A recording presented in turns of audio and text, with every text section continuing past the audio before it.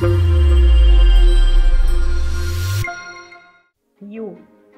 U for uncontrolled asthma. There are common signs that your asthma is out of control. First, you experience asthma symptoms frequently. Second, asthma begins to interfere with your daily activities. And third, you find yourself needing to use the reliever inhaler often or you have to rush to your doctor due to frequent asthma attacks.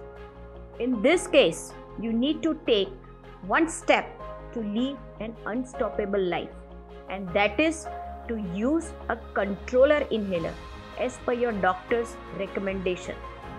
Regular usage of your controller inhaler as per your doctor's recommendation will bring your asthma under control and help you live बेरोग ज़िंदगी क्योंकि asthma के लिए है inhalers है सही।